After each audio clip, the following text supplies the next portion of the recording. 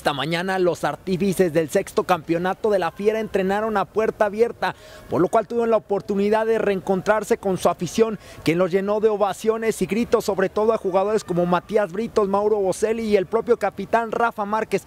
Previo a la práctica, el defensa Nacho González y Johnny Magallón hablaron precisamente de lo que es el logro obtenido en la temporada anterior y lo que vendrá para el equipo de los Esmeraldas de León en este clausura 2014, en donde aceptan que tendrán una corta pretemporada, pero que no será un pretexto para dar un buen campeonato y refrendar lo que es el título. Vamos a escuchar las palabras de los jugadores de León. Sí, bueno, pues va a haber una responsabilidad mayor.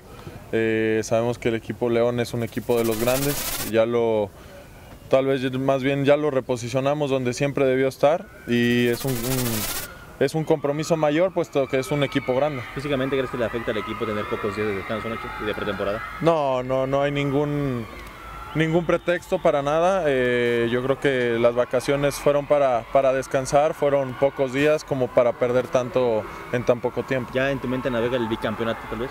Sí, seguro hay que pensar en grande, hay que ir eh, pensando paso a paso, obviamente, pero hay que respetar la condición que somos los campeones. Sí, un buen año, un buen año. Al final lo que, el jugador quiere es la constancia y gracias a Dios la tuve. no es fácil a lo mejor poder tener tantos minutos y más que nada porque uno está expuesto a cualquier situación, ¿no? desde una lesión, algún cambio táctico, lo que se pueda requerir.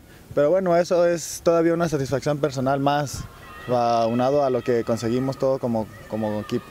Para m.com.mx, Francisco Horta.